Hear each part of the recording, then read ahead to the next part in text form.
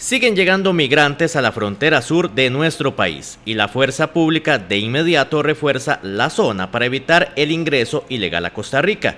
Además, someterá a procesos de deportación a quienes sean sorprendidos en el territorio nacional sin haber regularizado su condición migratoria y también fortalecerá la atención humanitaria de quienes ya están con los documentos aprobados. El país ha estado viviendo un incremento importante en la llegada de migrantes irregulares por la frontera sur, eh, donde se ha detectado que alrededor de, ha sido un promedio alrededor de 150 personas diarias que han estado entrando durante la última semana, cuando el promedio usualmente iba entre 50 y 100 personas.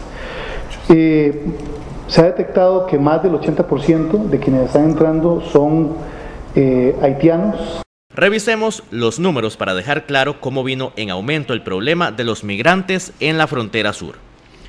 ¿Cuáles son las principales características de este tipo de personas? Vienen sin documentos de identificación o viaje. Son asiáticos, africanos y también del continente que dicen ser de África. Ingreso por tierra y mar desde el sur del continente. Huyen de guerras, pobreza, violencia, hambre y también violación de derechos deterioro físico por largas y difíciles caminatas, además de rutas, y un tránsito irregular por la región hacia el norte. ¿De dónde vienen? Pues la mayoría son del Congo, Senegal, Ghana, Costa de Marfil, también de Guinea, Togo, Nepal, Bangladesh, Somalia, Afganistán, Irak, Burkina Faso, la India, Sudáfrica y también de Sudán. Con este panorama, el gobierno es claro, la frontera sur está cerrada que Costa Rica mantiene su, frontera cerrada a la migración irregular y que no está otorgando visas a personas que ingresen de esta forma al territorio nacional.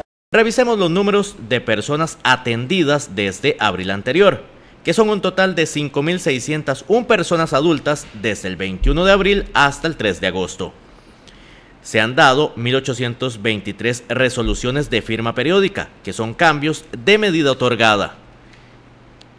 También se dieron permisos temporales emitidos desde el 26 de junio a la fecha. Son 3.778 permisos temporales otorgados. Y las condiciones del permiso, permanencia por 25 días, también para hacer abandono o solicitar algún estatus. Las personas que ingresaron en las últimas 24 horas en Paso Canoas, los números dicen que son 231 personas, 47 en Catem de Golfito, 114 en el centro de Buenos Aires y 70 más en la frontera sur que ingresaron ayer 3 de agosto.